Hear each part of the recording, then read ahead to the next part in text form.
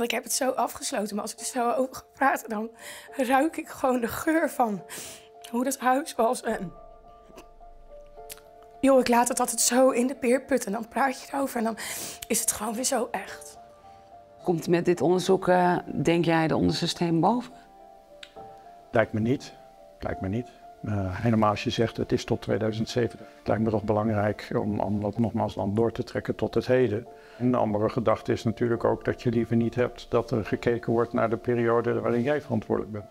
En als je dan onder je, je bed had ondergeplast, en vooral hij, want hij deed het dagelijks, dan werd s ochtends je vuile berggoed van je bed gehaald. In een plastic zak gedaan en S'avonds moest je gewoon in je ondergepiste bedden goed slapen.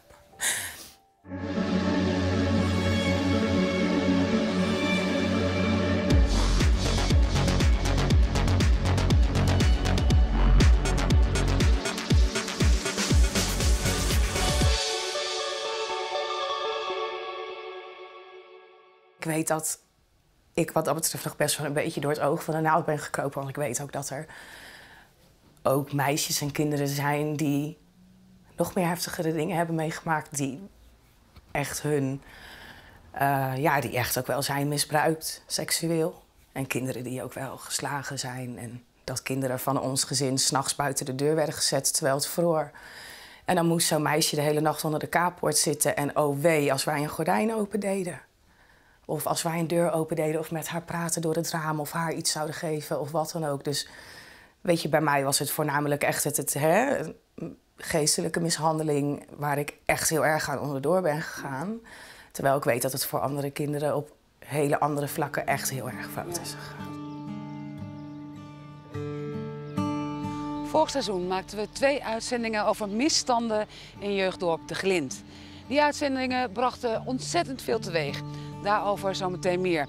Ik neem u eerst mee terug naar oktober vorig jaar. Uitzicht op jeugd op de Glint bij Barneveld. Hier worden al meer dan 100 jaar uit huis geplaatste kinderen opgevangen bij pleeggezinnen. Kwetsbare jongeren die niet meer thuis kunnen wonen. Voor het oog van de wereld dé plek om kwetsbare kinderen een veilig thuis te bieden. Maar schijnbedriegt. Afgelopen mei komen we in contact met Katinka, een oud bewoner van de Glint. Zij vertelt ons dat ze in de jaren 90 geestelijk en fysiek is mishandeld door haar pleegouders. Uh, we waren natuurlijk met z'n vieren en eigenlijk niemand ontkwam daaraan.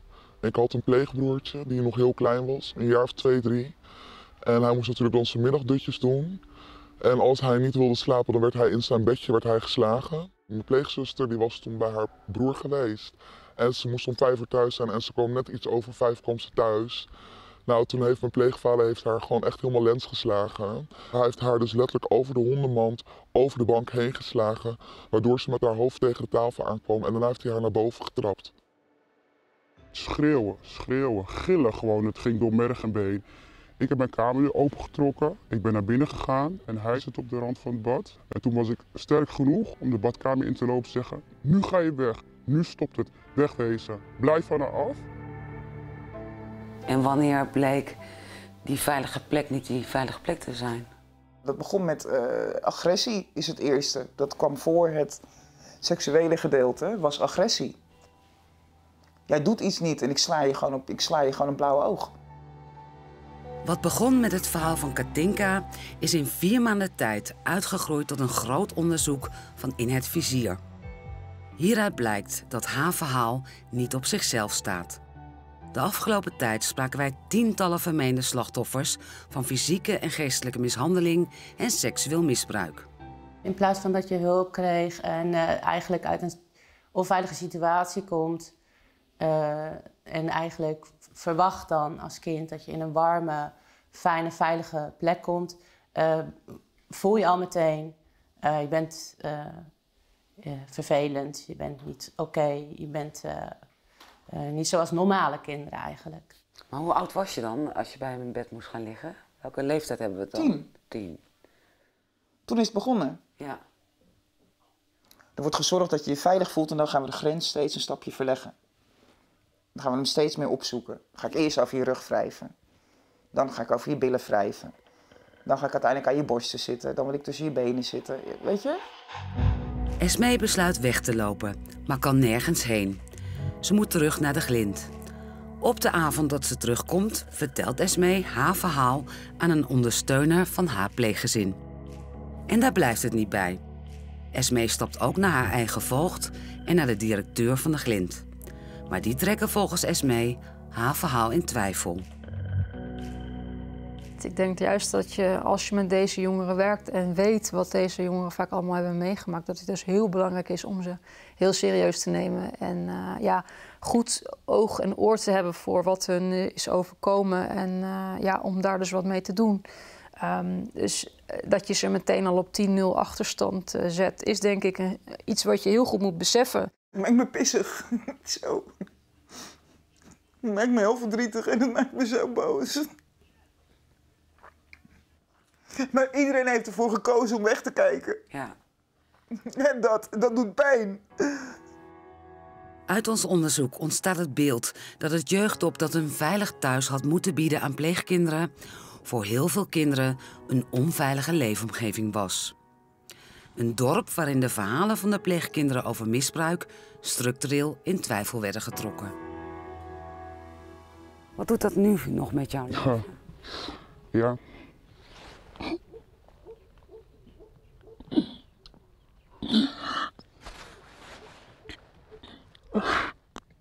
Maar nog steeds ben ik me kapot gemaakt. Mijn hele leven. Het nieuws over de misstanden werd landelijk opgepakt. Politiek Den Haag stelde vragen en er werd onafhankelijk onderzoek aangekondigd. Staatssecretaris Van Ooyen en zorgaanbieder Plurijn gaven beide in hun reactie op de uitzending aan dat er meerdere zaken zijn ondernomen om geweld binnen jeugdzorg te voorkomen. Zo spreken zij onder meer over het advies- en klachtenbureau jeugdzorg.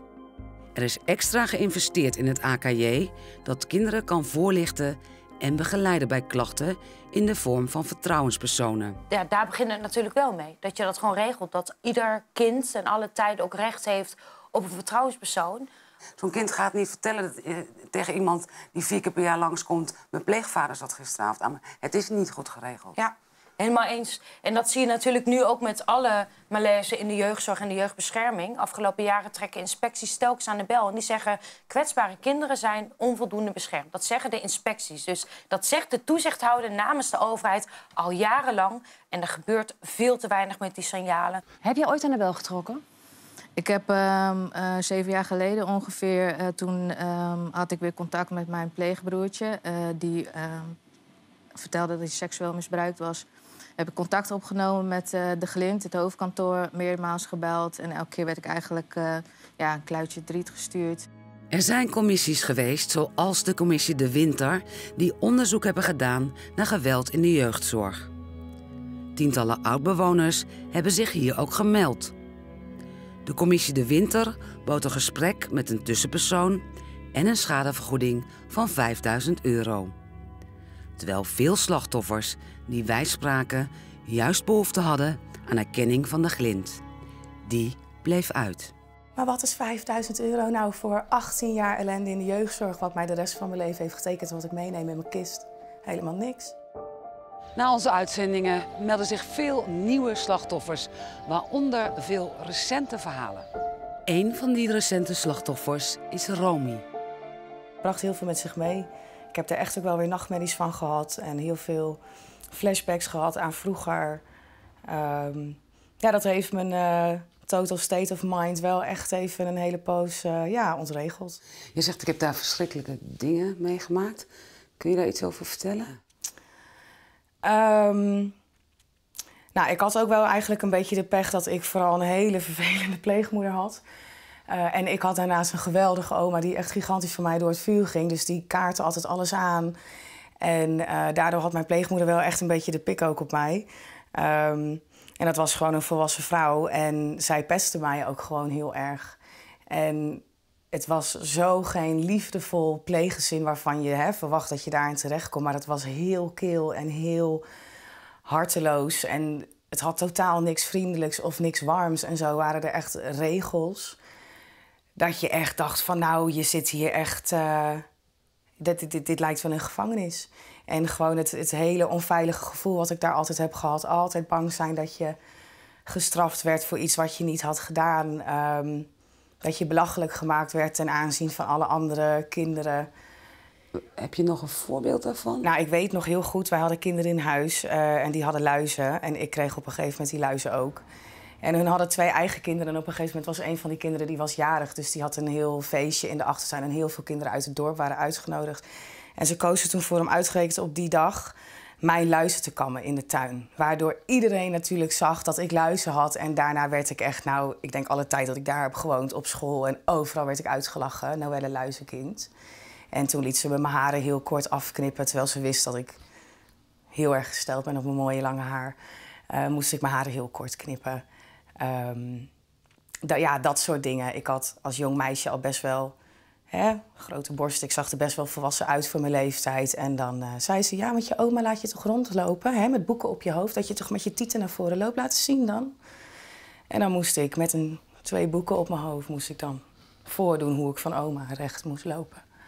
Waar dan iedereen bij was. En ja, dingen als gewoon hè, iets niet lusten van avondeten, wat heel normaal is als kind zijnde. En dan moet je aan tafel blijven zitten totdat je vervolgens naar bed moet. En als je het niet opeet, dan heb je echt een probleem. En als je ervan moet spugen, dan eet jij ook dat op wat je hebt uitgespuugd.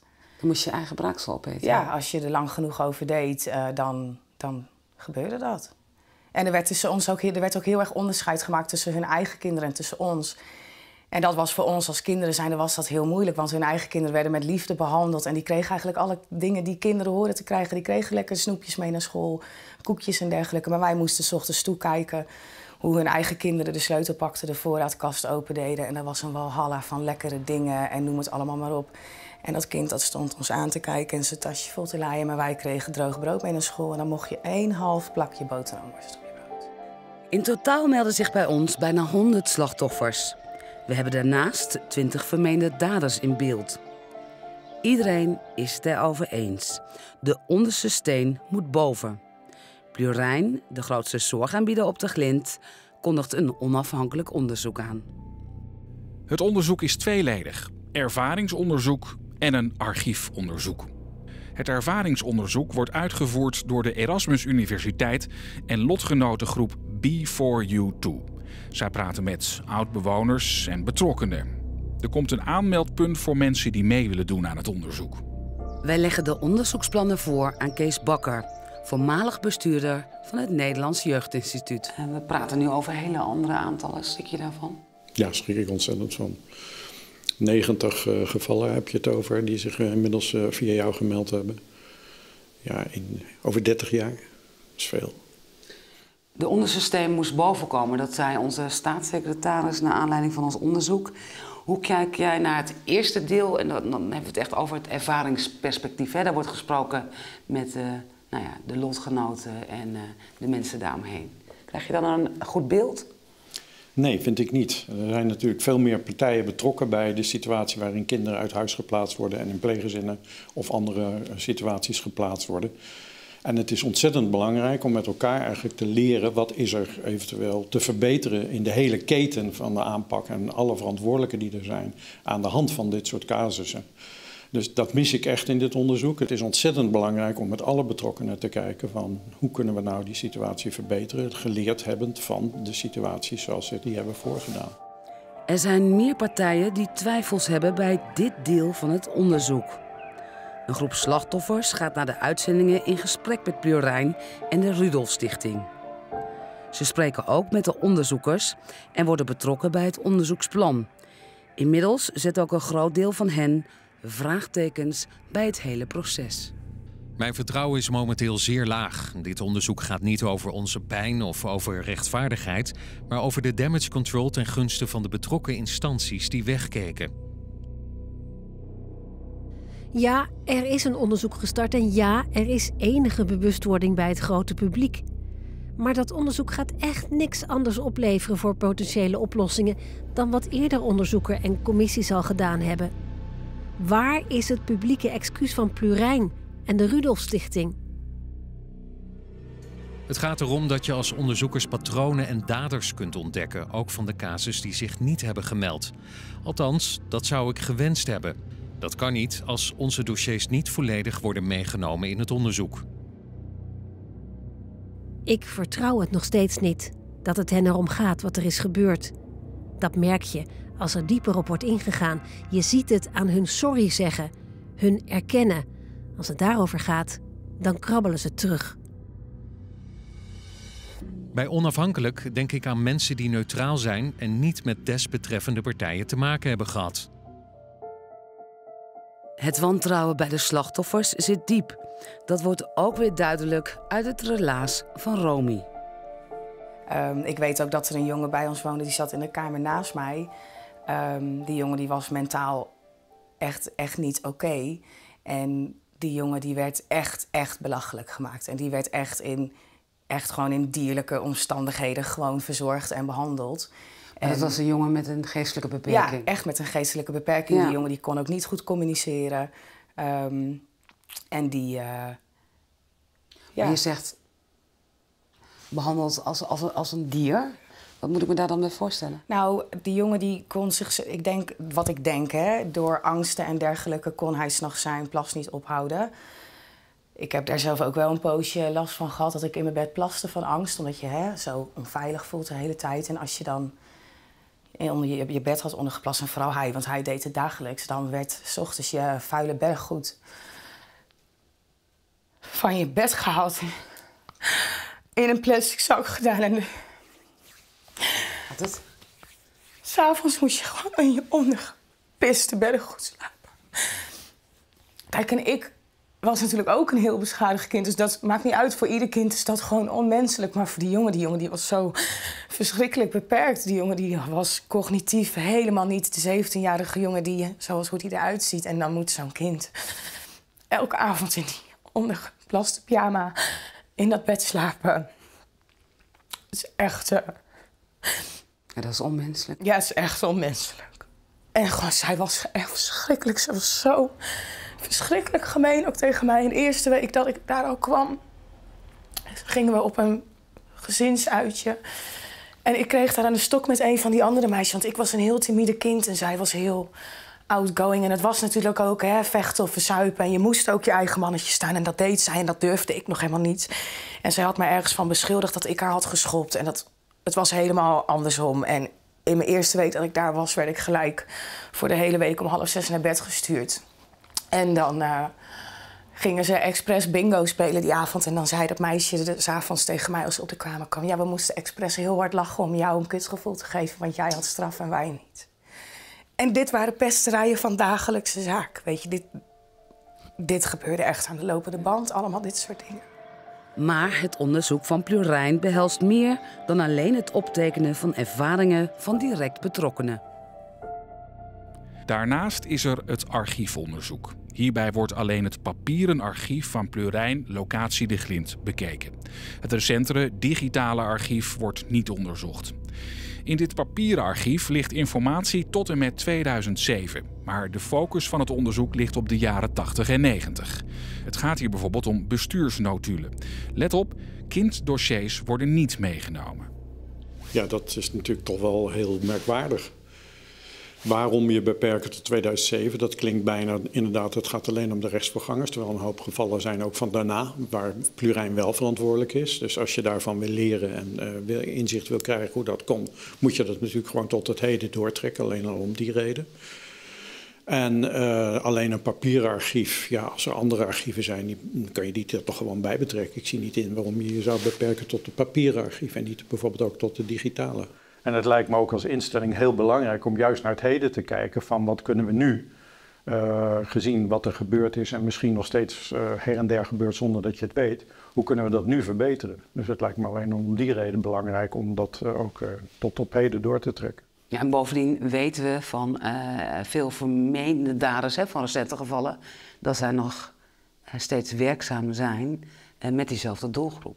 Ja, Nee, dus dat is zonder meer een extra reden om dat uh, ook naar het heden te kijken. Dus komt met dit onderzoek, uh, denk jij, de onderste steen boven? Lijkt me niet. Lijkt me niet.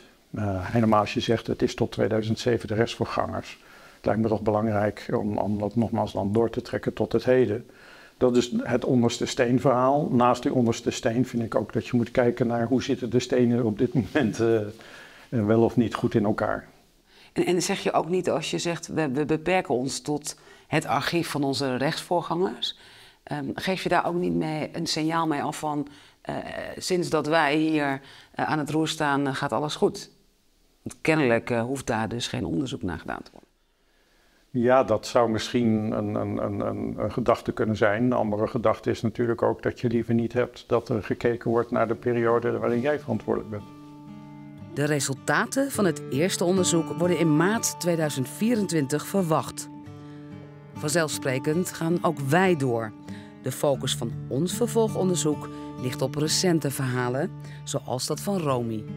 Zoveel uh, mensen waren daar omheen. er waren orthopedagogen, er waren maatschappelijk werkers, er waren docenten op school. Is dan, was er niemand die doorhad dat daar dingen gebeurden die niet oké waren? Nee, want weet je... Dan druk ik het heel zacht uit, ja. Ik denk dat heel veel van de pleegouders en de begeleiders daar. Um, weet je, het was natuurlijk ook een heel erg ons kent ons. En als je als kind zijnde al in zo'n onveilige situatie verkeert en je weet dat die mensen niet jouw veilige mensen zijn. Uh, dan vertel je niks. En als jij maar hard genoeg op een kind inpraat, als jij wat vertelt, zie je je papa of je mama niet meer. Of dan ga je naar gesloten, of je mag je oma nooit meer bellen, of dit of dat, of ik ga je pijn doen. Weet je, een kind is al zo beschadigd in zo'n setting. Weet je, je vertelt vaak ook niks. En de momenten dat je wat vertelde, dat je dingen aankaartte, dan werd je gezien als lastpost. Want hè, dan, dan werd er gewoon gezegd, ah, dat kind dat is zo gestoord, weet je, die mankeert van alles. Weet je, en de ouders die wel in de bres sprongen, die werden gewoon neergezet gewoon als de verschrikkelijke zeikouders. Waar eigenlijk niemand meer, meer, wat, meer wat mee wou of überhaupt nog wat mee wou bespreken. Dus ik denk dat de mensen die ervan hebben geweten als volwassenen en hè, die wel het beste voor hadden met de kinderen, het vaak ook niet hebben durven zeggen omwille van hun baan. Of, hè, ja. En dat de kinderen er gewoon veel te bang zijn. Heb je wel eens overwogen om aangifte te doen? Ja, maar voor wat ga je aangifte doen? Want voor, je moet iets concreets hebben om aangifte van te doen. Um, en het is inmiddels zo lang geleden. En wat, wat moet, moet ik, hoe moet ik dat gaan bewijzen? Kijk, ik met mijn verleden en met mijn hele rugzak, daarvan kunnen die lui, die pleegouders van mij zeggen: Ja, maar je ziet toch zelf dat het wijf toch helemaal niet spoort. Moet je kijken wat ze allemaal hebben meegemaakt, die is gewoon niet goed. Het nadeel is, uh, bij de onderzoeken er wordt niet aan waarheidsvinding gedaan. Hè? En dat zien we toch wel binnen, binnen jeugdzorg. Je hebt wel uh, de inspectie jeugd en gezin. Uh, er zijn allerlei instanties, maar niemand onderzoekt wat er daadwerkelijk gebeurd is. En er zijn natuurlijk vaak jonge, jonge kinderen die op dat moment nog niet het besef hebben: ik moet aangifte doen. Ja. Ja, dat is natuurlijk toch een groot probleem in de sector, de waarheidsvinding. En uh, officieel is dat de politie natuurlijk, het gerechtelijk apparaat, die aan waarheidsvinding moet doen. Jeugdzorg is natuurlijk meer gericht op, nou ja, wat kunnen we gegeven de, de situatie uh, wellicht het beste doen zonder dat we precies weten wat er, uh, wie er eventueel schuldig is. En dat blijft een groot probleem, ook in de uithuisplaatsingen, dat soms ouders niet weten waarom een kind uit huis geplaatst wordt of doorgeplaatst wordt, al dat soort dingen. En in het vaag gehouden, dus daar moet veel meer openheid over komen. Ja, want wij spraken in onze vorige uitzending ook de directeur van de Rudolf Stichting en Stichting Jeugd op de Grens. En die zei, aangifte, aangifte, nee, dat is niet iets wat wij uh, veelvuldig doen. Dat zit nog niet zo in ons systeem. Nee, nee klopt. Ja, dat zijn natuurlijk twee verschillende dingen, waarheidsvinding en, en, en juridische stappen die je moet nemen. Want zelfs al heb je dan de waarheid ontdekt, dan is de stap naar, uh, naar de rechter soms natuurlijk ook nog in een instelling heel erg lastig. Uh, want dan krijg je inderdaad die verantwoordelijkheden kwestie. Van uh, wie is daar nou precies wel of niet schuldig aan en wat hadden we wel moeten doen en niet moeten doen. Dus het blijft natuurlijk wel een gecompliceerd geheel. Dus jouw advies zou eigenlijk zijn, uh, uh, nou ja, beperk je niet tot het papieren archief, mag ik dat zo vertalen? Neem juist ook uh, de recente gevallen mee in je onderzoek en kijk wat breder dan de grens zelf. Ja, en kijk naar die hele context en probeer daar dan, nou, ik zou het dan maar even geen waarheidsvinding doen, maar wel in alle openheid met elkaar zonder nou met, name om de schuldvraag neer te leggen, te kijken van wat is er nou precies gebeurd? Wat, wat weten we daar nou over? Hoe kunnen we daar nou ook verbeteringen in aanbrengen? En met elkaar uh, leren van uh, dit soort incidenten. Weet je, ik probeer altijd het beste te maken van mijn leven, absoluut. En ik ben echt een heel enthousiast, zorgzaam, outgoing persoon voor de buitenwereld. Alleen in mezelf is er gewoon zoveel kapot gemaakt dat ik. Ja, weet je, wat moeten ze voor mij nog doen? Ik hoop gewoon echt op een veel beter zorgsysteem. Hè? Niet alleen qua jeugdzorg, maar ook gewoon qua hè, mentale zorg, psychische zorg voor iedereen. Um, dat we daar als land zijn gewoon op vooruit gaan. Weet je, want voor mij is het eigenlijk toch al te laat. Je bent pas in de twintig. Ja, ik ben nu pas al in de zegt, twintig. eh, ja. eigenlijk is mijn leven kapot. ja, mijn leven is zo kapot. En ik probeer nu voor mijn kind probeer ik hè, te helen. En probeer ik gewoon te leven in liefde en licht. En al dit soort nare dingen achter me te laten. Maar juist nu ik zelf zo'n prachtig mooi kind heb... dan kan ik het me niet voorstellen dat andere mensen zo... zo met een, met een kwetsbaar kind omgaan. Dat, dat begrijp je gewoon niet. Alle verhalen van In het Vizier kunt u terugvinden op onze website gld.nl onderzoekt.